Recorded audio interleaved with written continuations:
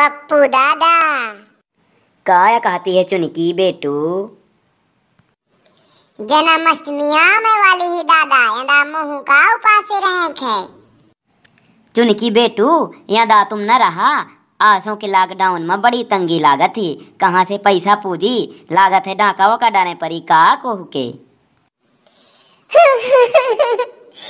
भौजी के लाने नई नई मोरे इधर की भूखा पड़ जात है भैया के। चुनकी तो मज़ाक को नहीं समझे पौती। मैं ऐसे हंसता रहा हूँ।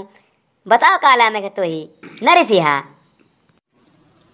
मोही दो किलो साबूदाना एक पसेरी केला और नींची नींची वाली शक्कर एक तोला गुड़ बारह दर्जन नारियल चाहिए ज़्यादा थोड़ी है मौत हूँ भैया।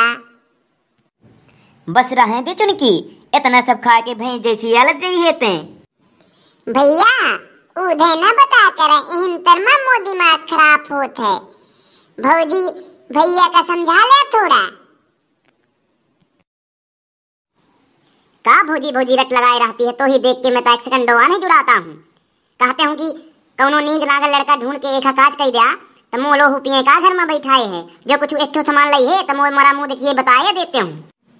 ये चुड़ैल जब से आई तो मोरे बिटिया लड़का का खा लीस मो लड़का खासा हट्टा कट्टा झुरा के लकड़ी हो गया अम्मा, बताया दे थे तुम दूरिन दूरिन दहा। जब जन्माष्टमी आवती तो यह गुल करिया करत आती है। बड़ा वाली के सास बहुत बढ़िया है। बस सकारे सकारे उठ के झाड़ू रे, बर्तन रे, पोछा रे, कपड़ा रे, लत्ता रे, कौनो काम बाकी या नहीं रहेगा अतः जब देखे तब भुनन भुनन लगी रहती है। थोड़ी मोरे लड़का माँ कमी रही नहीं मैं यही ढेरास फिरौते हूँ अब मैं काल से तोर ग्वाड़ में जी हूँ टठिया परस के दिया हूँ झाड़ू पोछा करी हूँ बर्तन करी हूँ ये ठीक है ना?